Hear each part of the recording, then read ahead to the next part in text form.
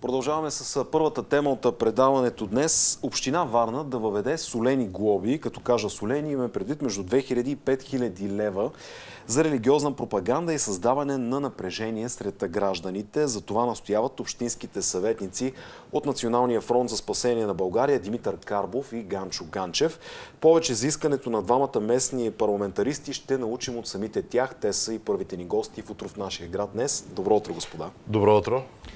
А, толкова често срещан факт ли е религиозната пропаганда в града, за да се стигне в крайна сметка до тази ваша идея? Ами да, през последните години това е много често срещано явление и това не е плод на нашето въображение, това е вследствие на сигналите, които получаваме от недоволни граждани. Доколкото разбирам от тях, те се обръщат не само към нас, но и към други представители на политически партии, които имате представителство в Общинския съвет, но все пак знаете, че тази тема е така един горещ картоф и така рядко биха се намерили представители на определена политическа партия, които да се захванат с една такава тема. Отново на нас се пада така честа и удоволствието да подхванем една такава тема, която тревожи и създава напрежение сред нашите съграждани. И именно за това внесахме с колегата Ганев предложение за изменение и допълнение на наредбата за обществения ред. Като, да, може би глобите са солени, но все пак, за да има превенция, трябва да има и а, така по-сериозни рестрикции. Нали, имам предвид рестрикции от а, вида на така по-солени глоби, които по някакъв начин да създават действително превенцията, която се очаква след приемането на тези промени в наредбата за обществения ред.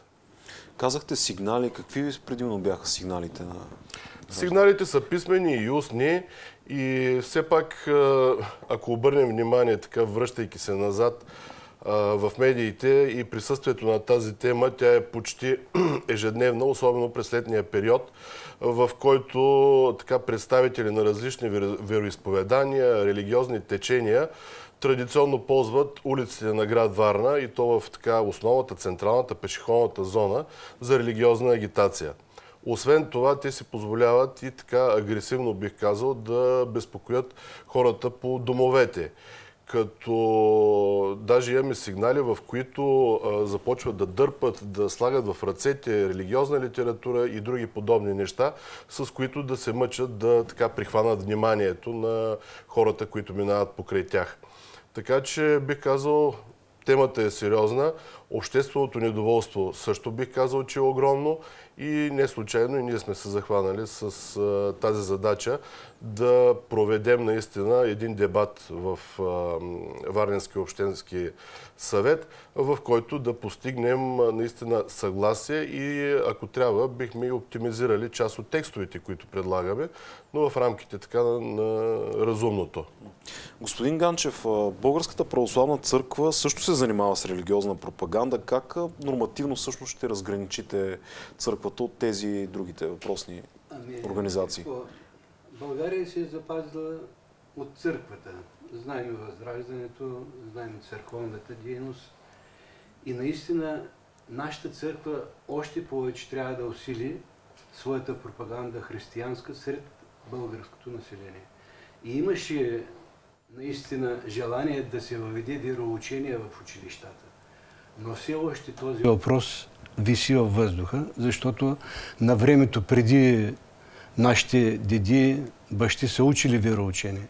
Все пак то възпитава в дух на патриотизъм, на обич към отечество, към родина, към род и така нататък. И нашата църква наистина в последните години малко така, както се казва, неглиже, не смее да се изяви, както на времето се е изявявала.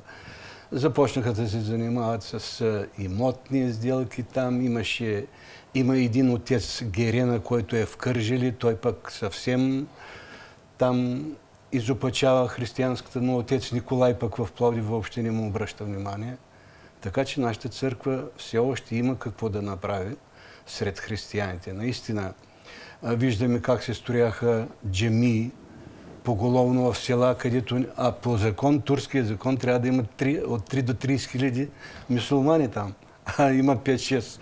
И то дето са турчия цигани, а се строи джемия. Да, а нашите църкви изостават дори а, съборени църкви, паднали покрива, които управлението на нашия синод не знае, че тя не е действаща вече. Църквата в Средно село имам лични впечатления, като ходихме. Покрива паднала, храсти, всичко, а те водят, че още действат. Да, всъщност църквата, както разбирам от вас, вглобена в съвсем различни проблеми. Да. Това остава някакси на да. заден план. Според вас, но пък въвеждане на вероучението би ли било също вид превенция на тези пропагандата на тези религиозни организации също. Еми, нали има там не кради, не прелюбодейства и така, не пожелава и жената на ближния си и така нататък. Все пак възпитава в нещо. Докато сега всичко е, което се учи от другите. Господин Карбов, вашето мнение?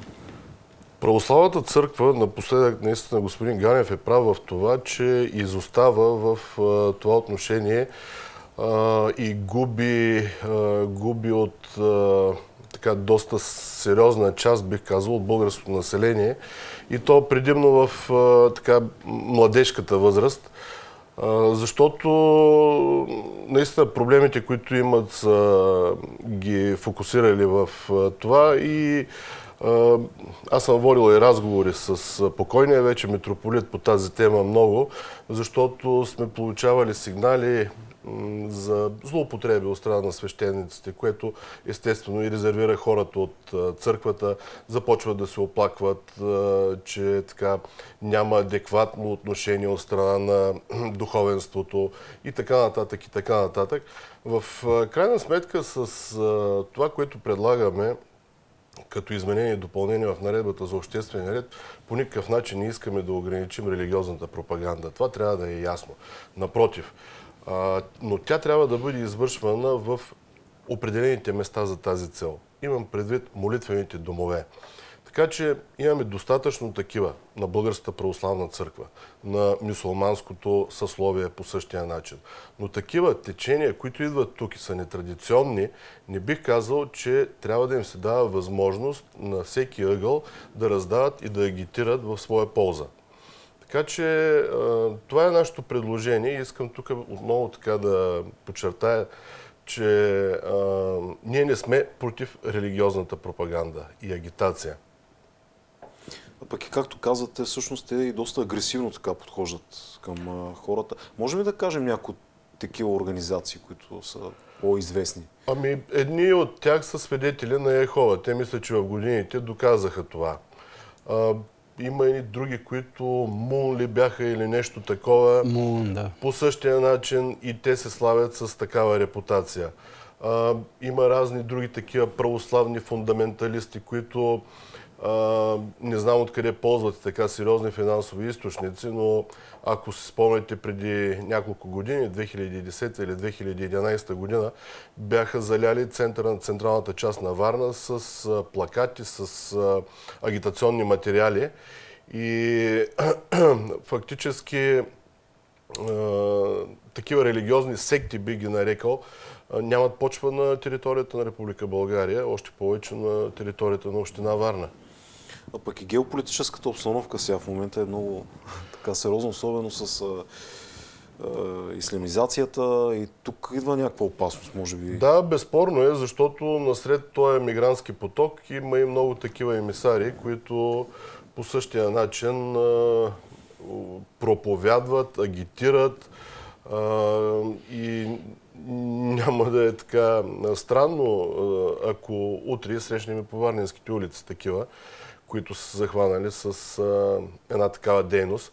Така че, пак казвам, наредбата би следвало да бъде оптимизирана в тази му част, която по някакъв начин да създава ограничения, естествено санкции, защото а, санкциите, които сме ги предложили, ако бяха в по-малки размери, толкова нямаше да създадат необходимата, според мен и според нас, превентивност. Какви, какъв е размера на санкциите всъщност, да кажем?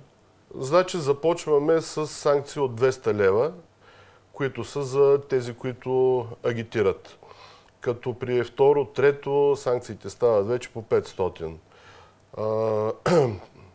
Тези, които осигуряват възможност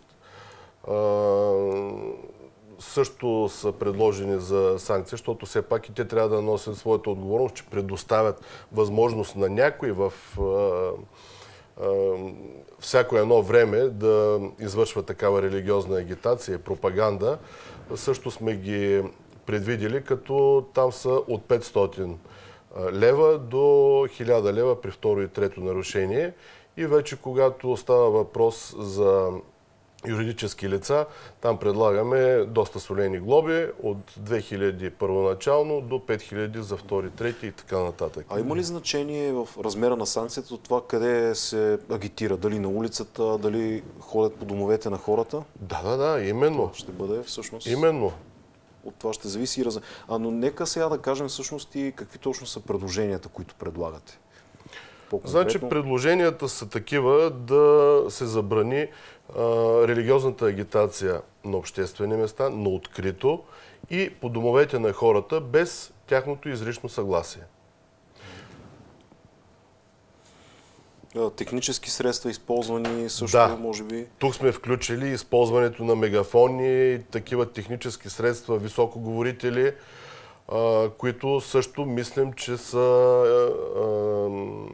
така недолюбвани от гражданите на нашия град защото, пак казвам, това, което ние го пишем, това, което го предлагаме, е едно предложение на нашите съграждани на практика, чрез нас като хора, които са избрали да ги представляват в Общинския съвет на Варна. Като казахме за мегафоните, господин Ганчев, това означава ли, че, например, ходжите няма да могат да, да пеят? Ами отдавна се предлага това ограничение на ходите, защото те използват технически средства сега. Надул говорителя и българите. После тая демонстрация в София пред джемията. Вътре защо не влязат? Има места, както показа и телевизията, че има свободни места. Те просто демонстративно постилат черджетата си на пътното платно и пречат с това и на гражданите. И това по някакъв начин дразни да. хората все пак. Все пак християнска е, държава сме. Едно е ушите ти да милват а, така, звука на камбаните, Друго е ушите ти да слушат някакъв ходжа, който реве на някакъв неразбираем език. А, така че това трябва да престане и трябва да спре турмоза, главно в Аспарухово, където там често се използват а, тези технически средства. Друга от идеите всъщност е санкциониране на създаването на напрежението сред гражданите. Това понятие е малко разтегливо. Нека да кажем точно какво имате предвид. Ами безспорно с тази религиозна агитация на открито на обществени места и по домовете на хората създава напрежение, защото хората, как да ви кажа, те не са свикнали да бъдат да бъдат агитирани по улиците с именно такава, такава дейност. Хората в България така са устроени, че ако им трябва трябва Господ, Бог, те го търсят в религиозните храмове. Никой не го търси по улиците, никой не иска да му отиват в къщата да го занимават с такива неща. И именно от тук проистичат и всички така, последствия от това, което ние в годините го получихме така като информация и го обобщихме и го концентрирахме в тези изменения и допълнения на наредбата за обществения ред. Смятате ли, че предложението ви ще получи подкрепа от страна на останалите ви колеги в Общинския съвет, господин Ганчев? Ами, който се чувства, че е българин и християнин, смятам, че би подкрепил, независимо каква партия и какви идеи изповяда. Това не забранява нищо на другите, просто ограничава ги и те трябва да се съобразят, все пак живеят в България. Тук са се родили, а, да изповядат друга религия съвсем така назидателно, вижте, ние не можем да се справим едва ли не с тях. Не бива така просто. Господин Карбов? Аз съм сигурен, че една голяма част от гражданите на Община Варна подкрепят това, което правим. И мисля, че в Общинския съвет, сред колегите от другите политически партии, ще намерим наистина и диалога, и решението по тези въпроси, които предлагаме. Така че надявам се на една сериозна подкрепа в зала, когато разглеждаме това наше предложение. На следващото заседание на Общинския съвет ли се очаква да бъде разгледан а, Това няма да бъде на първото заседание на тази година. Това ще бъде най-вероятно във второто заседание на Общинския съвет, което може би в февруари, средата или така последните дни на февруари ще бъде проведено. Ще преминава ли през комисии това предложение?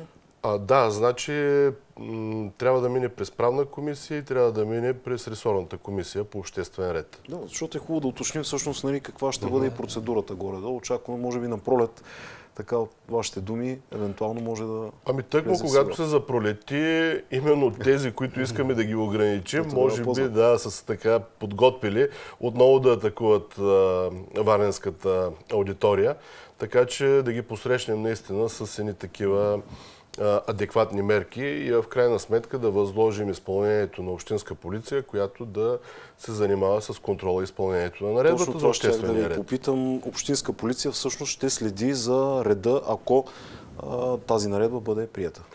Както и служители от община Варна, които са компетентни за това лица. Аз ви благодаря за това гостуване. Желая ви успех наистина в начинанието. Успешна и ползотворна година. И ние ви благодарим и на вас и на телевизия Черно море пожелаваме наистина една здрава и успешна година. Благодаря отново.